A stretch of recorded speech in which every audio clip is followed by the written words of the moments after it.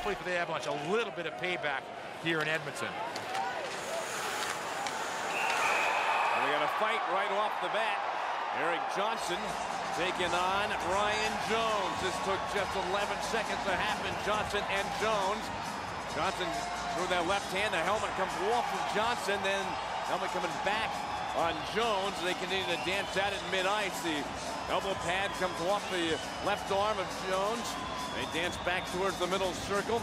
Both being tight, neither able to really land a good punch yet in this bout.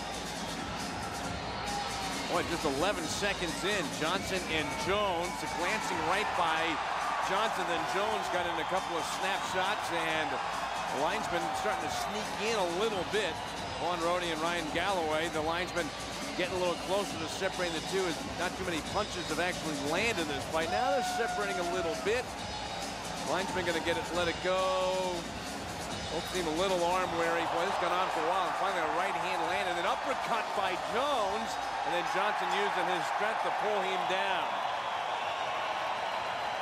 It went on a long time, Peter. Not necessarily a lot of punches landed. But interesting, it took just 11 seconds for it to happen. And Erik Johnson, Ryan Jones dropping the gloves early in this game. May not have been a lot of punches from a lot of a lot of energy was used in this fight. You're to see the hit come across Johnson and Jones. And you know what? You got to almost think that you know, I wonder on that play, when you look at it, if Jones turned around and saw that Johnson had dropped the stick, he'd actually just dropped it. If he thought, okay, he's throwing the stick down, he wants to go, because that's what led to this fight. But you also got to think a little bit of frustration.